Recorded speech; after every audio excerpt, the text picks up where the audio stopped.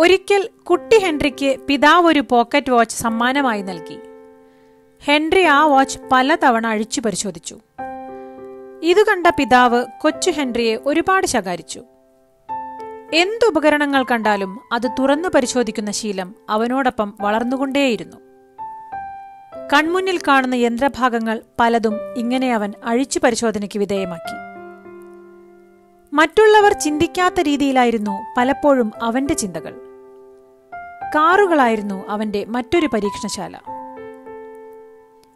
തന്റെ ഇരുപതാമത്തെ വയസ്സിൽ പെട്രോളിൽ പ്രവർത്തിക്കുന്ന ഒരു മോട്ടോർ പമ്പ് കണ്ടപ്പോൾ ഈ തത്വം എങ്ങനെ വാഹനങ്ങളിൽ പ്രയോഗിക്കാം എന്നായി അവന്റെ ചിന്ത.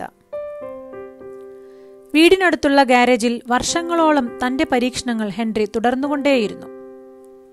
അങ്ങനെ ആയിരത്തി തൊള്ളായിരത്തി എട്ടിൽ മോഡൽ ടി എന്ന കാർ പണക്കാരുടെ മുറ്റത്തു നിന്നും സാധാരണക്കാരന്റെ മുറ്റത്തേക്ക് വന്നു നിന്നു. ഹെൻറി ഒരു സൃഷ്ടാവ് എന്നതിലുമുപരി മികച്ച ഒരു ബിസിനസ്സുകാരൻ കൂടിയായിരുന്നു.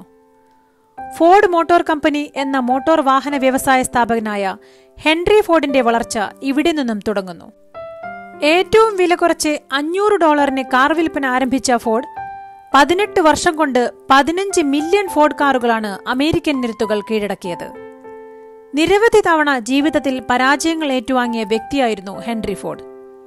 പക്ഷേ ആ പരാജയങ്ങളെയെല്ലാം വിജയത്തിലേക്കുള്ള ചവിട്ടുപടിയാക്കി മാറ്റാൻ അദ്ദേഹത്തിന് സാധിച്ചു. ജീവിതത്തിൽ വിജയിച്ചവരിലധികവും തന്റെ ഇഷ്ടങ്ങളെ തൊഴിലാക്കി മാറ്റിയവരാണ്. ഫോർഡ് പറയുന്നു എല്ലാം നിങ്ങൾക്കെതിരെയാണ് നടക്കുന്നത് എന്നോർത്ത് സങ്കടപ്പെടരുത്. ഒന്നോർക്കുക വിമാനം കുതിക്കുന്നത് കാറ്റിനെ എതിർത്താണ്. അതുപോലെ ഒരിക്കലും നമ്മൾ പ്രശ്നങ്ങളെ കാണരുത് പരിഹാരങ്ങളെ മാത്രം കാണുക. ശുഭദിനം.